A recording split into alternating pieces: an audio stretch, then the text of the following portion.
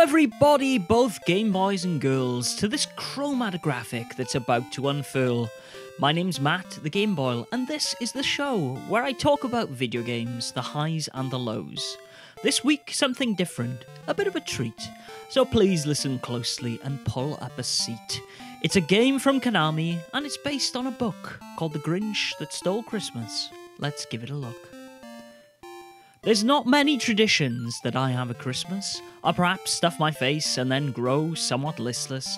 And all of those movies they play on the telly, like Die Hard and Gremlins, and don't forget Frosty. But there's two festive movies I rather enjoy that I'll sit down and watch as I play with my toys. And wouldn't you know it, they're both the same story. One's made in the 60s, the other the noughties. They're based on a book wrote by one Dr. Seuss about a miserly green thing, a social recluse, who plans to steal Christmas from all of the Who's, but ends up its saviour and slightly amused. For you see, his heart grew three sizes that day, and he carves the roast beast as the foo flompers play. I'm told that it's loved by kids of all ages, and it's written in verse, just like our video today is. But then again, all those words, words, words. If there's one thing we hate, it's all those words, words, words. So we just watch the movie while we feast, feast, feast. Because that's a lot easier while we all eat our sweets. But the Chuck Jones animation is not our topic today, so I'll put my best Boris Karloff impression away and instead point your attention to the live action version. It stars one Jim Carrey and it's a worthy conversion. And while there's a new one, please spare me the sermon. It's not yet on Netflix, so I've not seen it in person. And besides, that's not the source of our game's inspiration. So let it be struck from the record. The whole conversation. But the one with Jim Carrey? That was quite the hit. So Konami picked up the license, and they picked it up quick. They then tasked the game to Konami Entertainment Nagoya to make a GBC game that the critics would enjoy, not based on the versions by Artificial Mind and Movement. In fact, I would argue this game's an improvement. For you see, the home console version is all but forgotten. It's pretty subpar, some would say rotten. But the handheld version that we'll look at today is a diamond in the rough a hidden gem, some might say. You, of course, play as our titular hero, the Grinch, who sets off for Whoville with presents to pinch. And wouldn't you know it, they took inspiration from that Metal Gear Solid game, the PS adaptation. For you see, the Grinch, he's so stealthy, he doesn't need boxes. He's got his dog Max in place of grey foxes. You alternate between them depending on level, each with their own abilities and enemies to dishevel.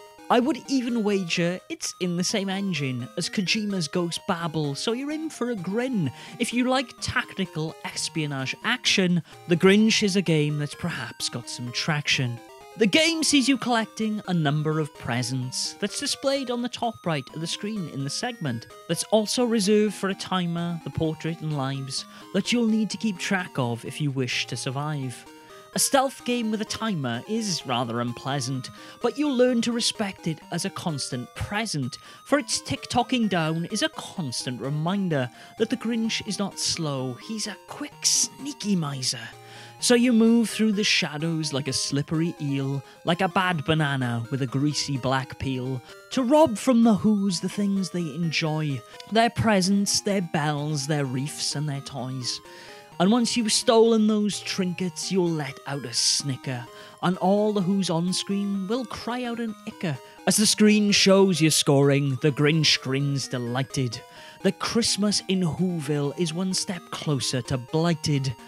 But least we forget, this is a game from Konami, so the difficulty here comes on just like a tsunami, with a difficulty curve like the Grinchiest tree, as you'll find out yourself as you play it and see and it goes higher in fact than the Mount Crumpit Peak, because despite all his bravado, the Grinch is quite weak. and the Who's he's trying to steal Christmas from frown on the fake Santa Claus who's come into their town. And so they'll cry in alarm as they see him on sight. The children give chase, the adults cower in fright. If they catch our garlic salt hero, you will have to restart. For the Who's don't mess around, they'll pull at your heart. When you do, though, you won't lose the presents you found. The same thing can be said for when the timer runs down. Just make sure you've got some more lives left. Otherwise, it's game over and you'll end up bereft. You'll be glad to know there's unlimited chances to replay the level and see how it advances. But just one word of warning, a piece of advice. You should know going in, this game doesn't play nice. Enemies have projectiles, they're quick footed to boot, so if they don't chase you, they'll most likely shoot. So you'll need quick reactions if you want to survive, and learn the controls if you're looking to thrive. Use A to attack while B sees you crouch, pressing A again to make snowballs to pouch. These can be thrown to knock enemies down, or you can just use your horn if you're next to those clowns. The toughest thing about the game is its movement. Konami could have done with some tweaks and improvement, as pressing the D-pad is no guarantee that the Grinch is going to end up where you want him to be.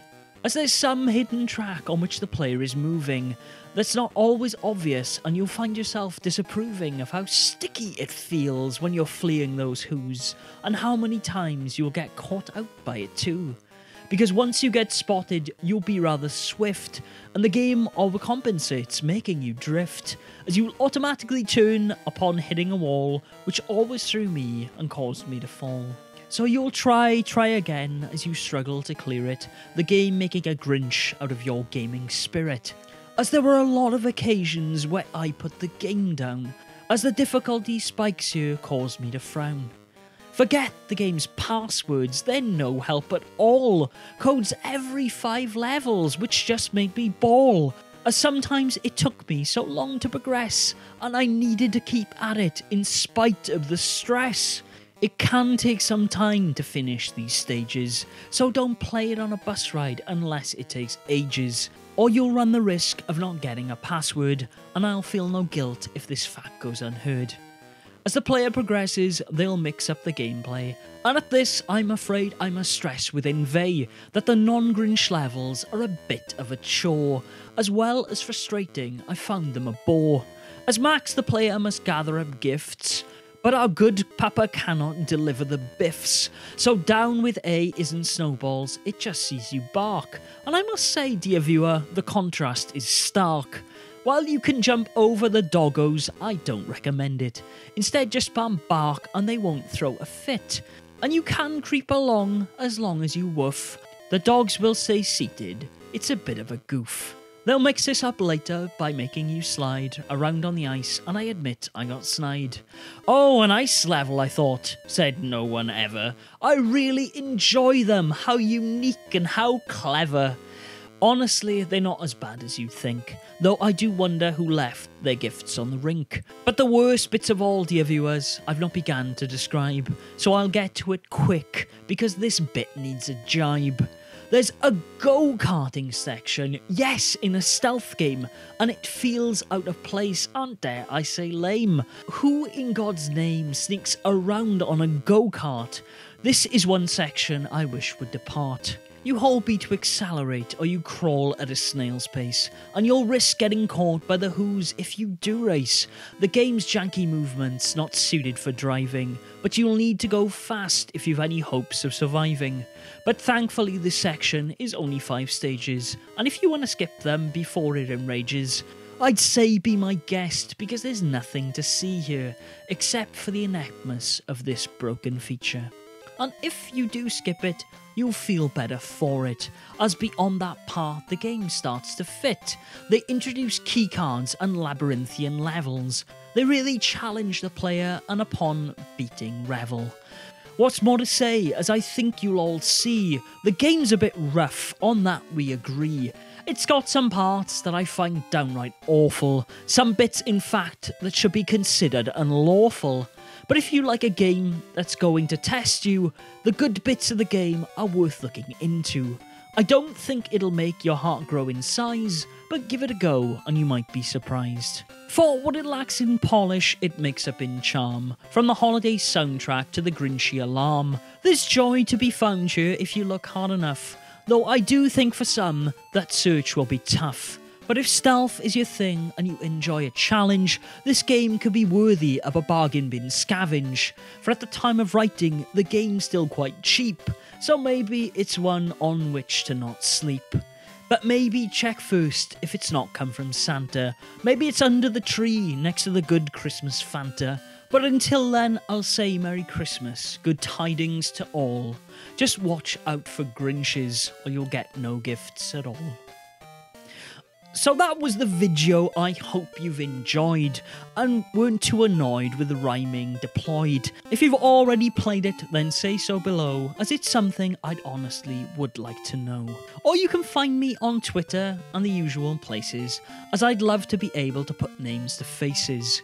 But until next week, Game Boys and Girls, I'll bid you adieu, because then I'll be back with a video or two.